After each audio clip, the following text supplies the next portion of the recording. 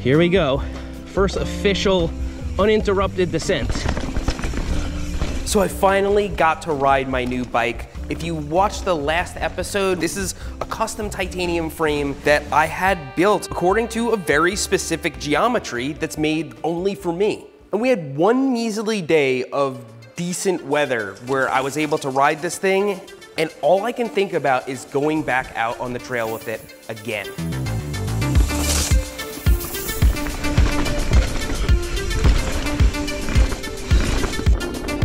My initial impression is that this bike fits me better than any bike I've ever ridden. It fits me better than my bike, if that makes sense. Yet it feels different. Most of the bikes that I've ridden and owned feel like you're sitting on top. This one feels like you're sitting inside of it, like you can charge into anything and the bike's gonna handle it. It won't, it's a 130 millimeter hardtail. But it feels like that and it's a good feeling. I hit the whale tail crooked. Normally you can just squeeze your brakes and stop, but it's all wet today. And so put myself in a stupid, preventable situation. We'll have to try another time. Climbing feels really good. The shorter 165 millimeter cranks, something I've never owned before, and I guess I'm gonna have to get them for my other bikes because they're awesome. And the fact that the bike is overall real stiff and light makes it a pleasure to climb with as well. But also the steeper seat tube angle positions me over my crankset when I'm climbing, feels a lot better. We'll talk about that more when we get to geometry. Now descending, holy crap. I've had experience with 29 inch wheels, but never on a bike that truly fit me, that was truly adapted to a super small person. And even though this bike has less travel than my last bike, it carries more speed. There's no question about it. I mentioned in the last video that it has two water bottle cages, and so I was using the one on the seat tube for storage. I was using a Fidlock storage container, and then I found that this one that just fits in a bottle cage actually holds more stuff because it doesn't have the mechanism that locks it in.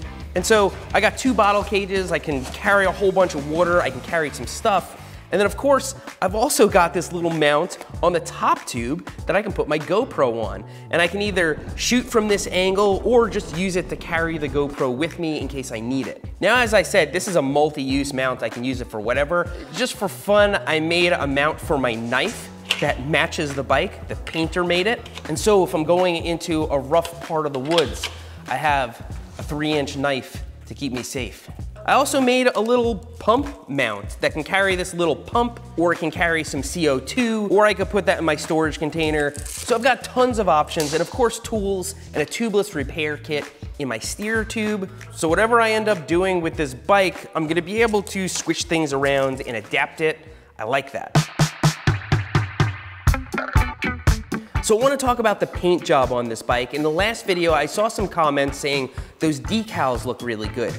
It's paint. It's not just paint, it's Cerakote. It's an extremely durable paint. You don't need to paint titanium, and in fact, it's controversial to paint titanium at all, because if you have it, why not let it all show? My initial plan was to just have a raw titanium bike, but I decided to switch it up and go with the paint because I don't want it to look like every other titanium bike. I want it to be unique, and so the painter hid Oscar and drama and little callbacks to this YouTube channel and this bike. Sage, the company that built this for me, is in Oregon, so there's a little Oregon hidden on the bike. There's also a little Pennsylvania because that's where the painter is. The bike was painted in Pennsylvania. Of course, it all got shipped back to North Carolina, and so right here in between the seat stays, we have a little North Carolina on the bike. Now another Easter egg you guys were staring right at is inside the badge on the head tube. You can see right here in the top of the Sage badge is the whale tail.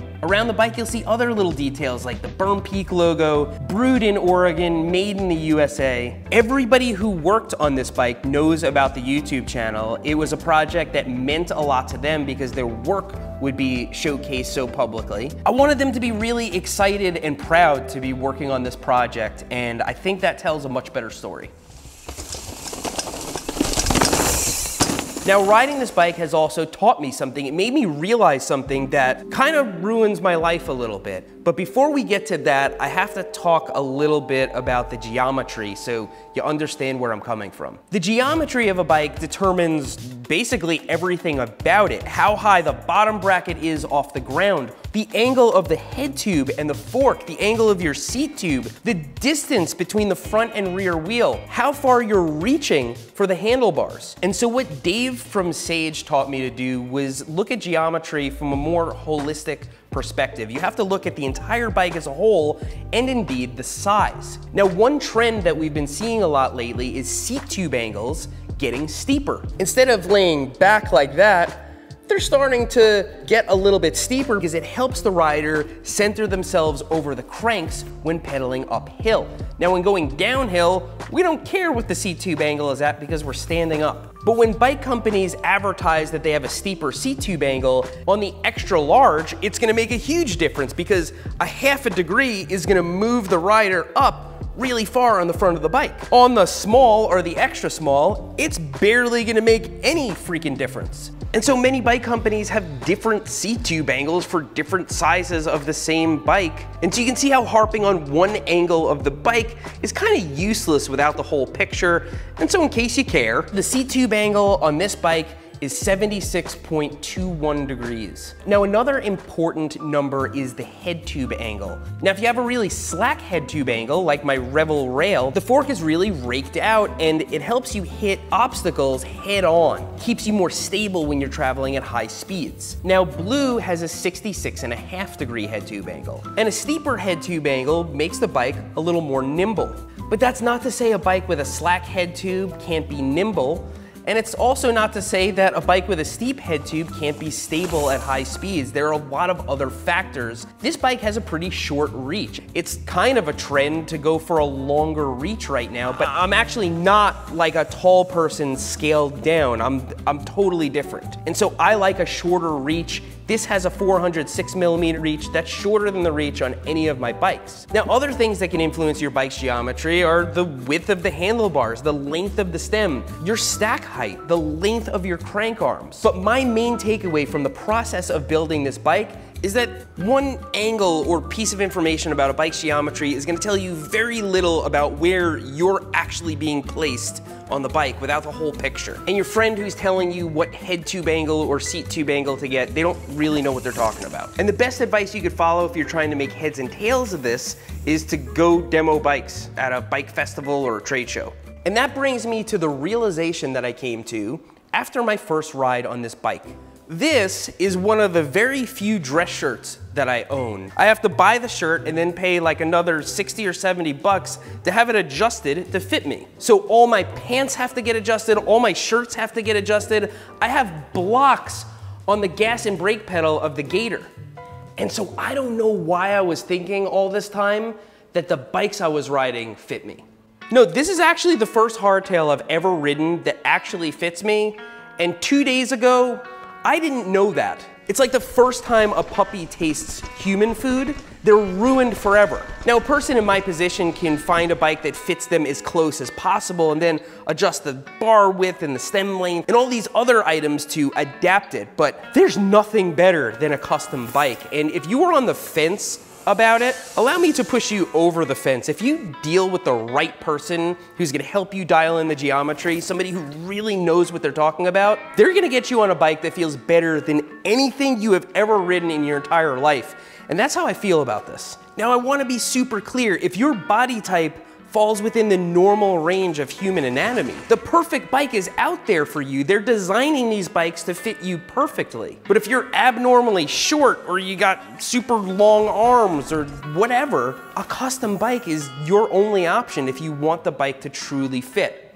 And that's bad news. I kind of liked it better before I knew that. So it should be pretty needless to say that I'm quite happy about this bike. It's been a project I've spent a lot of time on since July, and I've always wanted to build the best hardtail that I could possibly imagine. And so I'm very lucky to say that I was able to do that.